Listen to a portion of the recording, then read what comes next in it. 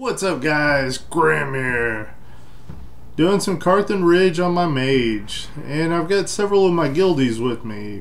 We've got Sneakin, uh, Soul Bearer, Intense Slayer, Leothitis. I believe that's how you say his name. But I'm running my one button, well, mainly one button, Elementalist spec. And for some reason, I always seem to get lots of kills with this spec. If you would like to know what the spec is and how to play it and all that, I'm sure I'll have a link for it at the end of the video. Okay. So, alright, they already took out one healer there. I imagine with us having two guildies that are warriors, I imagine they'll be mauling through the enemies, and I'll be lucky to keep up with them. Because I'm not running like Pyro to where it's, you know, a kill stealing spec. This is this is a raw damage one button build and the Warriors will probably beat me to the kills. But that's okay. They're my guildies. And we've been owning it up all night long. And our guild is growing all the time. Oh, we've got complete control now. Very nice, very nice. But yeah, our guild is growing all the time and uh-oh, all of our team is running off and they're coming mid. Better let them know. Okay. But yeah, our guild is... Ah, don't be pulling me, man. Okay, we got a warrior on me. Got a second warrior on me. Anybody else want to join in on this? Ah, gotta sacrifice my pet to heal myself up. Do a fast summon of my pet back. And hopefully make them pay. Yeah, that's what I'm talking about. My team's taking care of me. so nice whenever you get a team that actually comes and helps you out whenever you're in trouble. Because you'll get on a lot of teams where they just, they're all thinking about their kills and they don't realize that you know helping out the rest of their team is going to help them get kills. Because if their team starts dying they die right after. So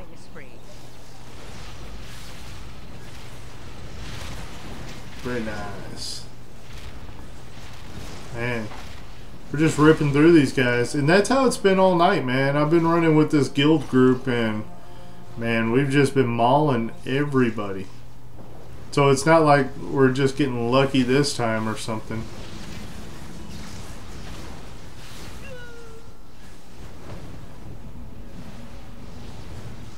Our little pre-made here is working out really well. Which we're not assisting each other or anything like that. It's just that we've got such hard-hitting guys with our warriors and I've got pretty good DPS on this spec too and I believe sneaking is a rogue. That would be a name for a rogue. So I haven't played with him much, so don't know his spec just yet. But playing with him now, so I'll get to learn. So we got a rogue, two warriors, and a healer which I'm not sure exactly which class Soul Bearer is yet. He just joined the guild today, but he's doing an awesome job, that's for sure. And Sneaking is on a killing spree. But yeah, guys, you know, the, these Warfront groups, and we're entering into conquest together all the time, our guild is. And we're doing really well. I mean, we have our off nights like anybody else, but man, that warrior there is just not letting up on me, man. Every time he sees me, he he's treating me like I'm a healer or something that he needs to stick to. Leave me alone.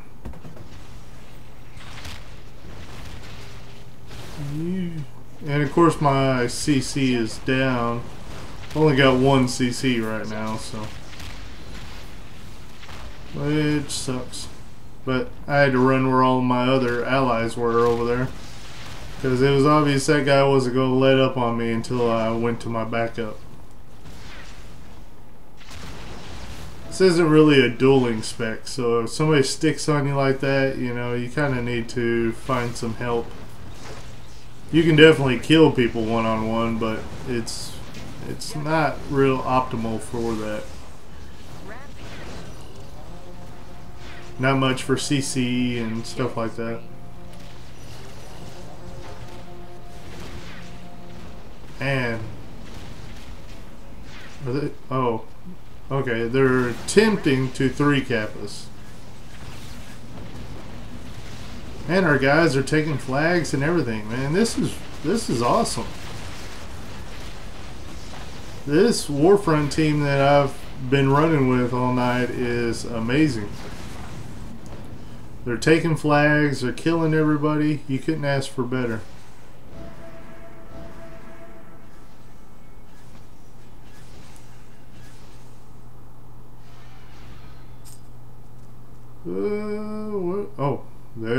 Some. Well, one enemy.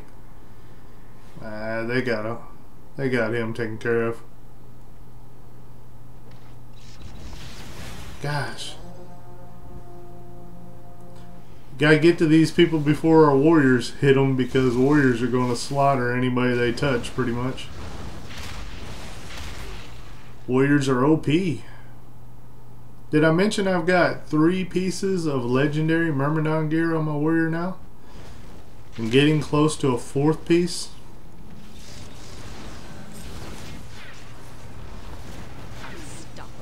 My warrior is an absolute monster. And I'm trying out new specs all the time. I'm running with uh, a kind of a life drain spec right now. I'm testing it out. And it's funny because I got into a Warfront earlier and I was the top heals.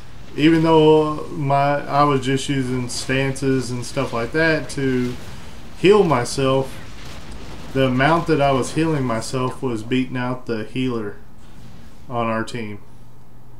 And it's kind of insulting to the healer because it's not like I was healing that much. But still, it was for me being a warrior and it wasn't a paladin spec to be healing myself that much where I'm beating out our one healer on the team. Yeah, everybody was giving him all kinds of hell over that.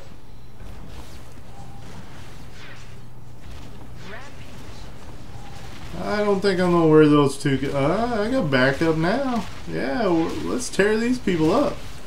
I was thinking I was flying solo against them two guys down there.